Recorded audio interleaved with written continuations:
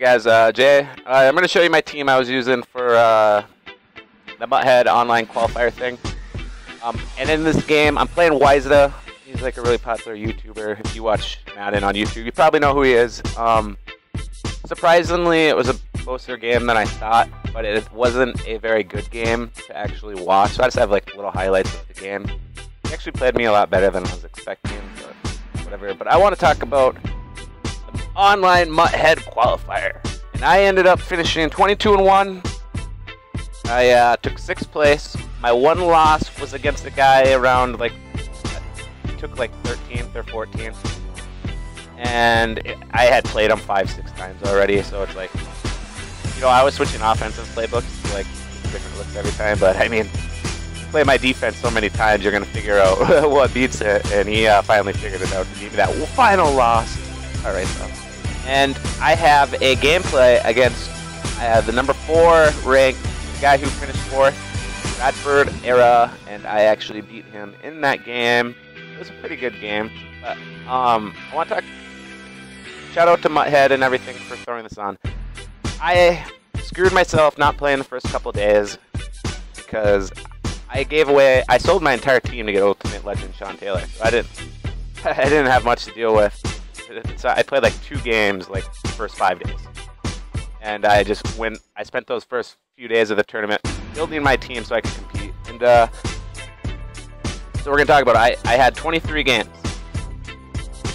and that obviously wasn't enough to qualify. And I spent, honestly, I, I spent like six hours a night on that website last week to find games. And I would get one or two games, it would always be the same people that would want to play me. And the thing about that, the way the XP works is, obviously, if you rank higher, than you're gonna get less XP. But you also earn less XP if you've already played them before.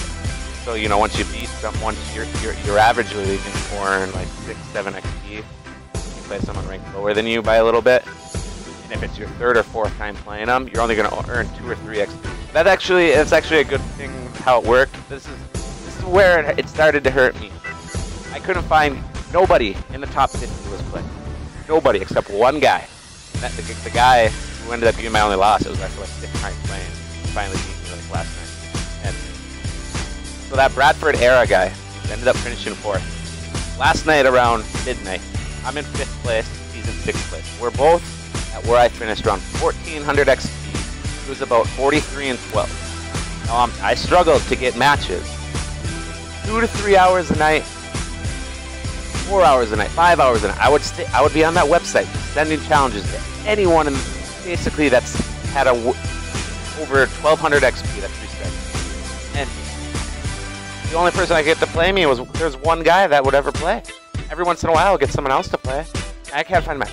So within the last less than 24 hours of the tournament, Bradford Era got over 10 games to play.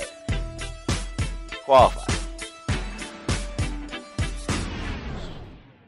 My this is my story. I'm Not saying anything.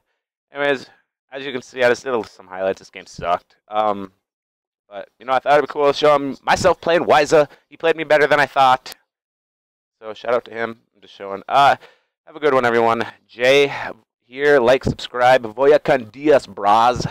And uh, maybe I'll give away my team. I don't know. I don't know what if I'm gonna keep playing. Peace.